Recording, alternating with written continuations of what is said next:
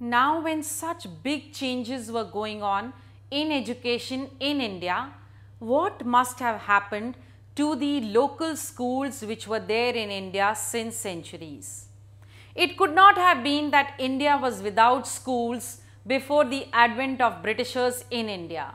So, what happened to those schools and how they were and what was their condition is another interesting fact. Now, on this we have William Adam's report which gives us a clear picture of the schools which were there during the pre-British period. In 1830, a Scottish missionary named William Adams toured round the districts of Bengal and Bihar to find out about the status of schools in these areas. Because he had been told by the government of India to give a report on the vernacular education in India. And the report that he gave was very, very interesting.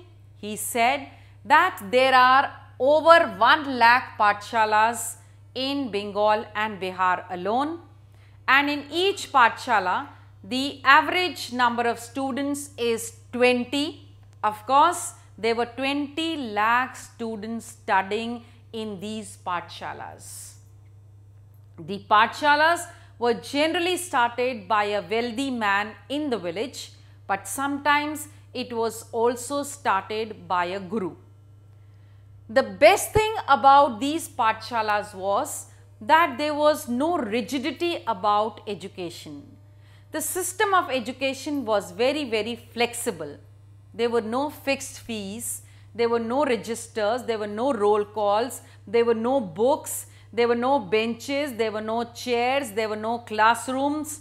And it was just that the students gathered at a place sometimes even under a banyan tree or in the guru's home or a building small building which was there. And here they sat down to learn whatever the guru taught them. There was no fixed syllabus and thus there was no examination as such. Now everything that the guru taught was oral. There was nothing written about these pathshalas. We see that all these students, they sat together and learned from the Guru. There were no different classes like class 3, class 4, 5. The children of different levels also sat together and the Guru interacted with them in different groups there itself, depending upon the level of the student. Now, you must be feeling that it was a very strange kind of education which was there, but there were certain positive points about this education. And the most important was that the students did not have to attend school every day as there was no attendance.